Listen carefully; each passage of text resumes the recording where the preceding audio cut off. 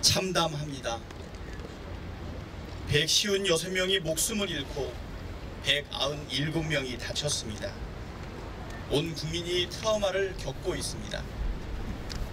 국민께서 묻고 계십니다.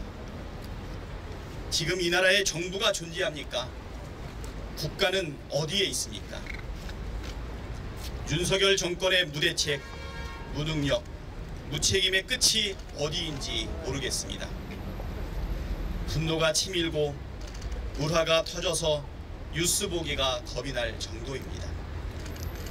이번 참사는 무대책이 빚은 명백한 인재입니다. 예년만큼만 대비했다면 충분히 피할 수 있었는데 정부도 지자체도 경찰도 모두 손 놓고 있는 바람에 발생했습니다. 정부의 대응은 무능력의 극치였습니다. 질식하고 압사하면서 살려달라 부르짖는 시민들의 신고는 묵살되었습니다. 지휘해야 할 책임자들은 자리에 없었고 보고도 지휘도 엉망이었습니다. 하나부터 열까지 모든 게 뒤죽박죽이었습니다. 역대 정권을 통틀어 이렇게 무책임하고 뻔뻔한 정권은 처음입니다. 무책임의 끝판왕입니다. 국민의 생명과 안전을 책임져야 할 정부가 의무를 다하지 않아 156명이 목숨을 잃었는데 사과하고 책임을 지겠다는 사람은 단 한 명도 없습니다. 정부와 여당은 엉뚱하게 시민 탓, 언론 탓, 야당 탓, 전 정권 탓하면서 국민의 가슴에 대못을 꽝꽝 박더니 이제는 힘없는 아랫사람에게만 책임을 떠넘기고 있습니다. 이것이 제대로 된 정부입니까? 이게 정상적인 나라입니까?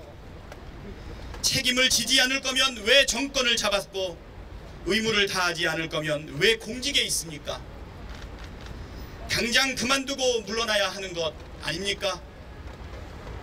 위기 상황에서 정부가 국민을 어떻게 보호하느냐에 그 정부의 존재 이유가 있는 것인데 이 정부는 정부 존재 이유를 증명하지 못하는 것 같습니다. 윤석열 대통령의 말씀 그대로 돌려드렸습니다. 윤석열 정부는 존재 이유를 증명하지 못했습니다.